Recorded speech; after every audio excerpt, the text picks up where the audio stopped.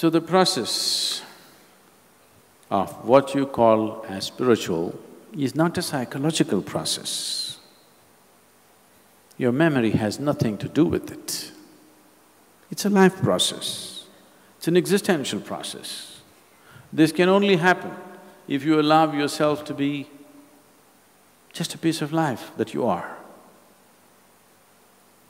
To do this, we do many things here and you know, you might have seen people in the ashram walking around with those orange tags.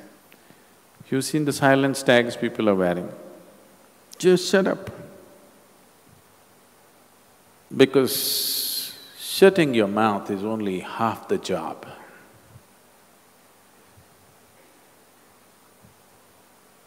To become silent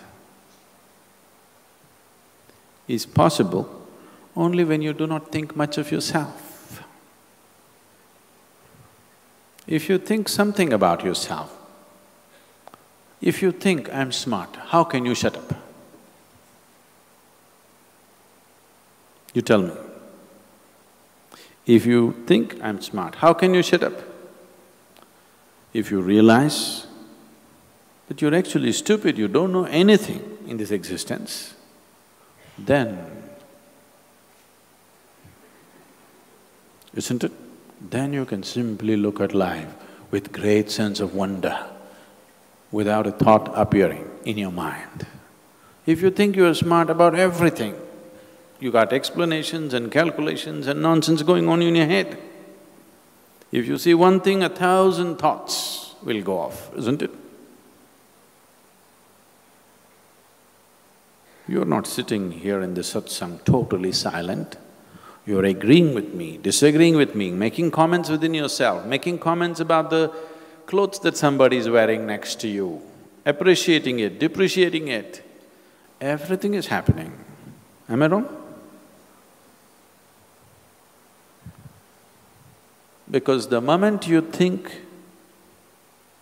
there is some value to what you think, then you can't stop it. No way to stop it. It'll just go on and on and on.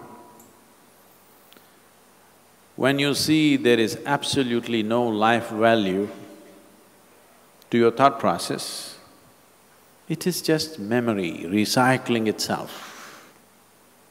It is just the same old nonsense recycling itself.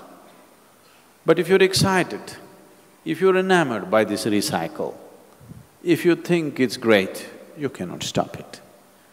If you see the patterns of what it is, if you see the stupidity of what it is, then slowly you will distance yourself and it'll collapse.